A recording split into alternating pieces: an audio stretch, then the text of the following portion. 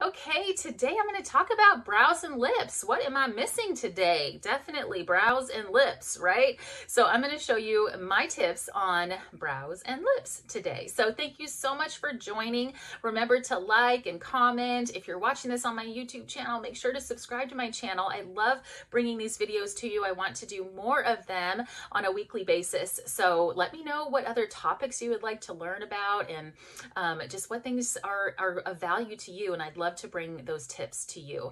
Uh, we have been covering uh, several different subjects when it comes to our color, uh, from just how to get that flawless kind of um, a high definition glow with concealers, under eye corrector, um, choosing the right foundation for yourself, um, how to do kind of a date night eye look as well with um, accent colors, midtones, and um, and uh, highlighters as well. So lots of tips I've been able to share with you and um, also primers going all the way back to the beginning of putting on a great face is making sure that we are primed and ready. So uh, I hope that you found those uh, videos helpful. If you didn't have a chance to watch them, make sure to go back and check them out. Uh, they are there and available for you to, um, to watch. So for those of you who don't know me, my name, is Margrette and uh, I'm excited to be sharing my uh, beauty tips. I've been in the beauty industry for over 25 years, and I'm passionate about sharing uh, all these awesome products and just how to bring your inner beauty out and enhance the, the beauty that you already are, the beautiful you that you already are, and just have those, those products and those um, tips that just help you feel more confident and show off the uh, the uh, beautiful features that you've been given. So um, I'm going to show you now here just a little bit of uh, kind of a a, a, marker, I guess, to show you where to apply your brows first. So we want to make sure that the brow, um, you know, shapes the eye as best as possible. So the first thing to do would be to make sure some of you probably thread your brows. Some of you maybe do some waxing. Um, maybe just you do your own tweezing, but you want to get a nice eyebrow shape done. So if you haven't done that in a while, go to a professional, have them um, shape your brow for you, okay? And then you can just maintain that. So once you get a nice shape going, then you can maintain it. But one of the um, places here to know how far over you should have the center of your brow or the this far end of your brow is by holding a pencil literally by your by your nose going straight up and down. Your brow should go no farther in than where this pencil is okay? And then to find out where your arch should be what you do then is you're going to tilt the pencil and go across your um, pupil and from there, that is where the arch should be, okay?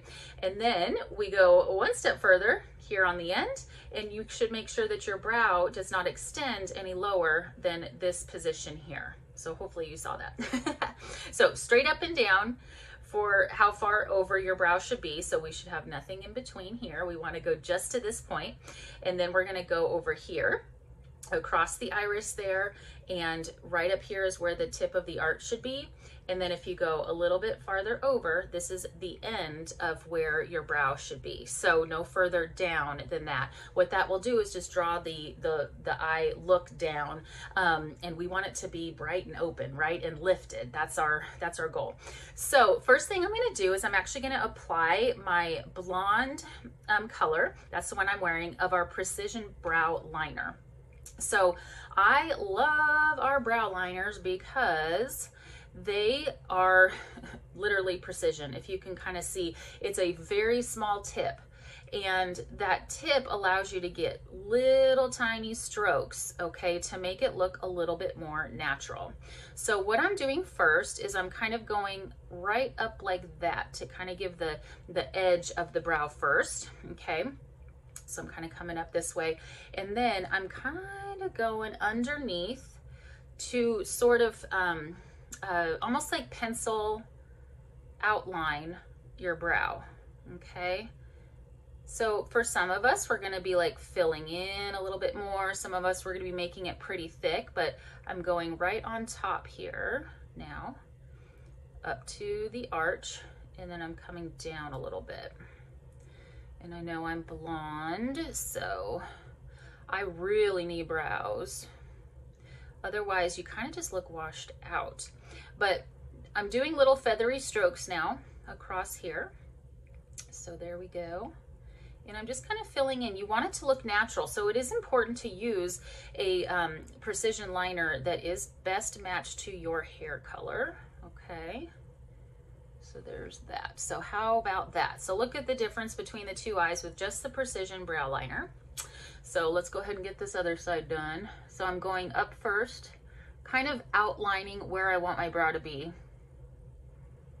Going up there and then over, because this is right where I kind of want the peak of the arch. And then underneath here, kind of filling in. Oops, my hair's in the way. There we go. All right.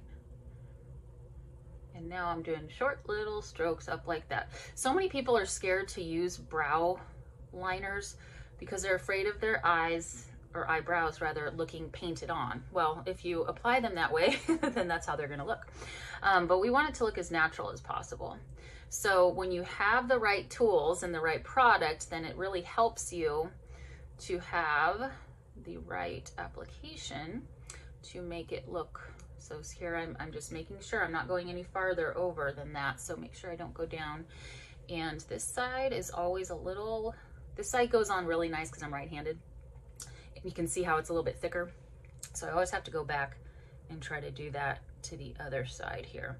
So the next product I'm gonna put on is our volumizing brow tint. This is kind of like setting your brows and I use a color blonde. We have blonde and dark blonde, so that's why I'm specifying. Um, we have blonde and dark blonde. I happen to um, prefer blonde for me. If I had a little bit more red or more brown in my hair or um, warmer skin tone, then you probably would want to go with a dark blonde. Um, but this blonde works well with just my coloring. So what this is, is it's almost like um, mascara for your eyebrows. it's it's kind of like that. It thickens, it lengthens, and it fills out. Now on a daily basis, I do just what I just did, the, um, the brow liner. If I'm going to go a little bit more dramatic, then I'm gonna use this volumizing brow tint. Just a little tip, this product, you scrape it on the side like that because a lot of product gets on here and you do not want a lot on your eyes. So what you do now is you do little short strokes and you'll kind of see the difference. It just lifts the um, hairs up a little bit and just makes the brow a little fuller and thicker looking. And then it's also going to set it so it doesn't change, right? It just stays in place. So there we go. All right. So how about that? See the difference between the two with the volumizing brow tint? So this is more dramatic, obviously, but um, the more dramatic your look is overall, then the more dramatic you want your brows to be. So there you go. I just kind of go up and over like that. So that is with the volumizing brow tint. So let's do that on the other side here, just to get that done. And I just kind of, again, just kind of brush up. You see how it kind of lifts the hairs a little bit when I do that. But I just like it. It's just super easy. And we've got this in, of course, all different um, shades for all different hair colors. But that's the volumizing brow tint. Isn't that awesome? It's super simple to use, super easy. And then these brows are not moving. They are just gonna stay right there and stay beautiful. I think my afraid to put too much more on, but there we go. All right, so how is that? So now my eye, my eyes are coming alive. All right, so brow pencil, precision liner, volumizing brow tint. And then we're gonna finish up with our lips. So we have a lovely, lovely lip liners, um, light nude, medium nude, dark nude. We've got all the nudes. Um, and we also have a really pretty rose color and I think I'm going to use the rose because I have a poetic pink I'm going to apply to my lips today. So it's just a very sheer uh, pink lip look. So remember, I do have my age fighting lip primer on already. So I've got that on there. And then I'm just going to apply my lip liner If you want your lips to be fuller, you're gonna line a little bit outside the natural lip line. If you need them to look thinner, you're gonna go on the inside, okay? Little trick, this is always so fun looking in the mirror. Um, little trick with lip liner too, if you have trouble keeping your lipstick on for a long time, um, A, use the lip primer, but B, you want to pencil in your lips so that when the lipstick or lip gloss wears off, you still have color on your lips. Okay, so that's always a, a nice little trick to do. So I, I literally will, um, you know, fill in the lip.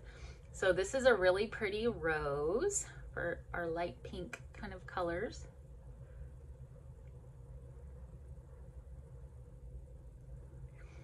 There we go. Really super simple. But that's the lip liner. And then this is a Supreme Hydrating Lipstick in Poetic Pink. And I'm just going to give myself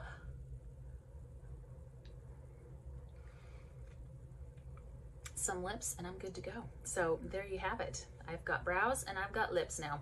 So the darker the lip, the smaller your lips will look. The lighter the lip color, um, the fuller your lips are going to look. So also, it kind of ages you too.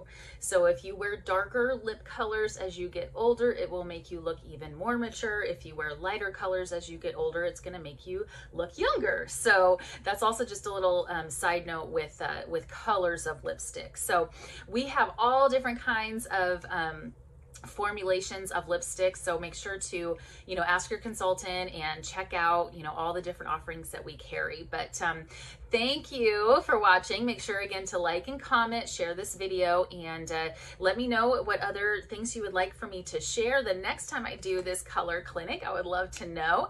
And i'm also going to be posting um, later on a uh, a menu of all the different sets to choose from uh, based on all of the topics that I covered with this um, color series. So I will post that and uh, you can enjoy those specials. It's just for for you guys that actually watch these videos um, and you can get a great special and great deal on those. So I will post those so that way you get those um, personally, but I really appreciate you tuning in and I will catch you next time.